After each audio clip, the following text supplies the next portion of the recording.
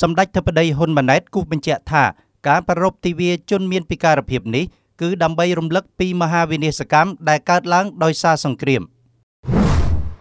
ក្នុងឱកាសអញ្ជើញជាអធិបតីប្ររពទិវាជនមានពិការភាពកម្ពុជាលើកទី25និងអន្តរជាតិលើកទី41ក្រោមប្រធានបទដំណោះស្រាយប្រកបដោយនវានុវត្តន៍ដើម្បីសង្គមមួយមានផាសុកវត្ថុនិងសមធម៌នៅសាលមហោស្រពកោះពេជ្រនៅព្រឹកថ្ងៃទី4ខែធ្នូឆ្នាំ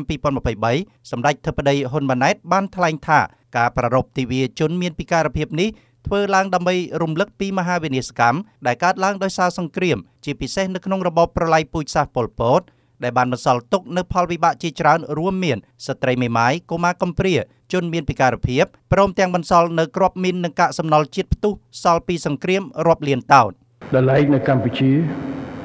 ការប្រពទិវាមានជនមានពិការភាពនៅធ្វើឡើងគឺដើម្បីរំលឹកអំពីមហាវិនាសកម្មដែលកើតឡើងដោយសារសង្គ្រាមជាពិសេស ដោយរបបបល័យពុយសាសប៉ុលពតដែលបានបន្សល់ទុកនូវផលវិបាកជាច្រើនរួមមានស្ត្រីមេម៉ាយកុមារកំព្រាជនមានពិការភាពព្រមទាំងបន្សល់នៅក្របប៊ីននិងកាកសំណល់ជាតិផ្ទុះសល់ពីសង្គ្រាមរាប់លានតោន